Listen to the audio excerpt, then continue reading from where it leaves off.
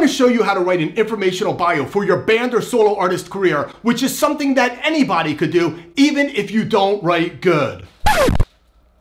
I mean well. Hey, what's up everybody? My name is Bobby Borg, musician, author, and professor. An informational bio is a simple, straightforward approach to introducing your career without all that complex Hemingway style writing that a publicist might do for you for several hundred dollars, only to make you sound too sensationalized and over the top for a band that's just starting out. An informational bio is about three paragraphs long and is perfect for your personal website or electronic press kit. Oh, and if you hang around to the very end, I'm also gonna show you how to do the shorter bios for Instagram as well. Okay? So you guys ready to do this? I said, are you ready to do this?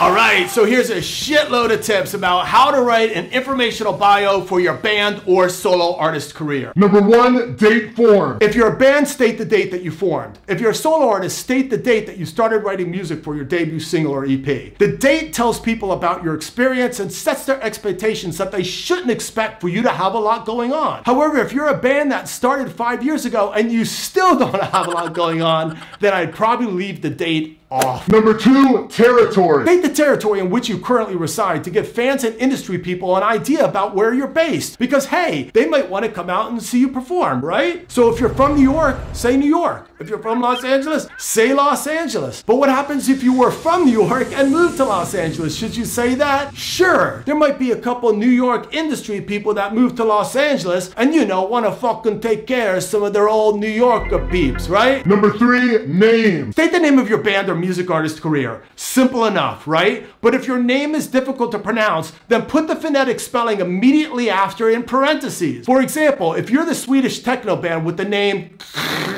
ah, yikes, how do you say that? Then you should put in parentheses immediately after the phonetic spelling to help people pronounce it. Okay, you guys? Cool. Number four, style. Describe the sound and style of your music as simple as you possibly can. So if you're rap, say rap. If you're pop, say pop. If you're uncertain, then think about the types of radio formats or playlists that you can get on. You might also decide to describe your music by thinking about like bands, bands that you sound the most like. Look, whatever you do, just don't go on with lengthy descriptions about your sound. You know why, you guys? Because you don't want to bore people. They could just hit play and find out for themselves. Number five, members. If you're a solo artist, you don't have to worry about this, but if you're a band, you might want to list out all of your members and the instruments they play play. Just keep it simple. For example, you might put Bobby B on drums, Peter B on vocals, and Chris B on turntable. That's it. That's all you need. Number six, story. Next up is your story or narrative, which is extremely important, so be sure to pay extra attention.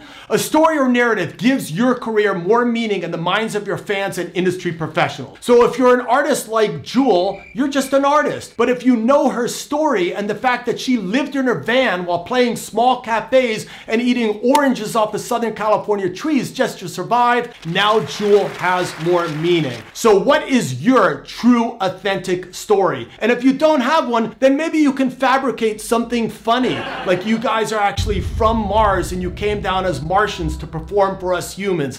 I don't know, just have a story. Number seven, accomplishments. Now it's time to list all your accomplishments to give people an idea about how much you've done. You can list your Spotify streams, your Instagram fans, or the number of people that come out to your shows when you play live. Just be truthful. If you're a band that plays on Sunset Strip on a Tuesday night at the Viper Room, and then some huge band plays on Sunday night, you didn't open for them, okay? but now you might wonder, what if I don't really have any accomplishments? Stay tuned for the next tip. Number eight, what next? Now you want to go ahead and list what you're currently doing and where you're going. For instance, you might talk about the EP you're currently working on or the tour that you're planning for in Southern California. This stuff is perfect for people that don't have any accomplishments and for people that have accomplishments too, because it shows that you're taking the bull by the horns and you are not waiting around for anyone. This is exactly what industry people want to see, you guys. Remember this DIY or die. Number nine, contact. Now, for the last step of your bio, you want to include your contact information, which could simply be your email address, or even better, if you have a personal manager, their email address.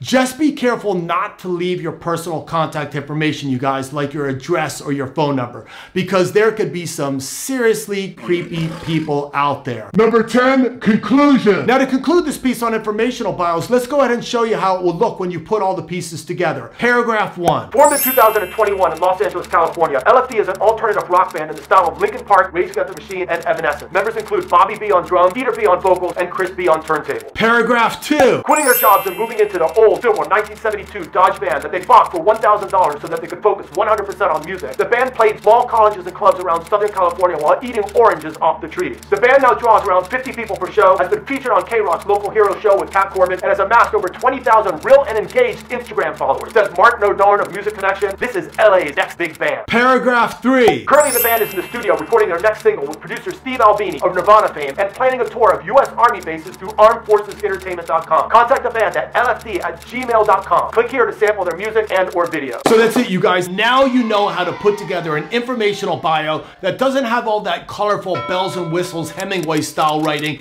that would look ridiculous for a band like you just starting out. An informational bio is great for your website and EPK, so be sure to write your informational bio today. Number 11, bonus section. Now for a bonus section, let's go ahead and talk about those little tiny bios like the ones that you see on Instagram. On Instagram, you don't have a lot of space. You only have four lines, so you need to be sure to use each line very carefully. Line one. On line one, you want to tell people what you do. So for example, at my Instagram, at Bobby Borg Professor, I simply write, music biz coach, author, professor. It's clear about what I do, but you would be surprised at how many musicians write really elusive stuff like space poet and time traveler. It's like, it's kind of interesting, but like, what the fuck do you do? Line two. On line two, you want to put your value proposition. That basically means what you have to offer to your fan. On my Instagram, I write, helping turn your art into a business. It's clear about what I do, so you should also be clear about what you do as well. Line three. On line three, you want to tell people about what they can expect when they visit your profile. So for example, on my Instagram, I write music biz and marketing tips weekly. It's clear about what I offer, so you should also be clear about what your viewers can expect. Line four. Line four, you want to have a link. So for example, on my Instagram, I have a link to my YouTube channel because it's a new channel that I'm trying to build up. However, you guys might have what's called a link tree. That's a link to a main page where you can have all of your links to your YouTube, to your TikTok, to your Spotify. There are a number of services that help you do this. You can go to Linktree or you can also go to Linkfire. So that's it, you guys. That's how you write a tiny Instagram bio. Now it's your turn to succeed. Go out there and kick some serious ass.